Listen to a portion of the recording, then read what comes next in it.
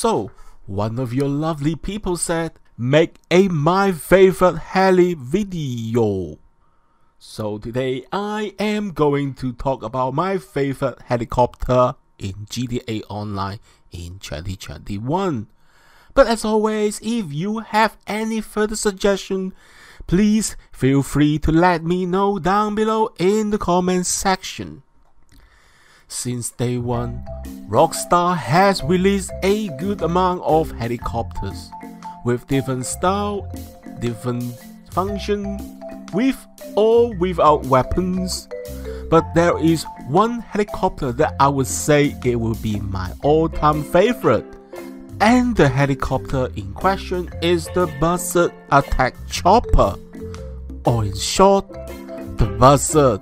And if you have played the story mode, you may come across the Buzzard during a mission that is called Three's Company, where you need to take down the choppers and those choppers are the buzzard.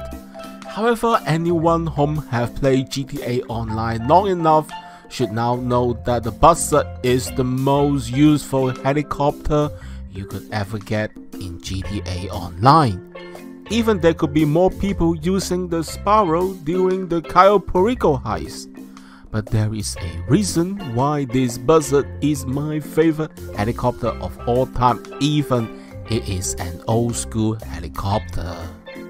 The Buzzard isn't necessarily have the best firing power if you compare this helicopter to other helicopters like the Savage, the Hunter, or the Akula. But there is something that is so unique for the Buzzard. First, you can use CEO vehicle's abilities to have one spawn right next to you for free. You can also either call one with your Pegasus or keep one as your personal vehicle. The Buzzard is one of the fastest helicopter with possibly the best handling helicopter in GTA Online.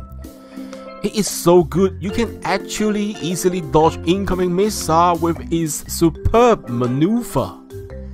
And therefore this helicopter is very useful if you want to travel from point A to point B contact mission, and some basic PvP as long as you are able to hit your enemies with missiles or the miniguns. And for the asking price of $1,750,000, it is an absolute bargain. And also because the Buzzard is such a cool looking helicopter, and that is why the Buzzard is my favorite helicopter in GTA Online in 2021. So, what is your favorite helicopter in GTA Online? Let me know in the comment section. I read all your comments and as always, thank you so much for watching.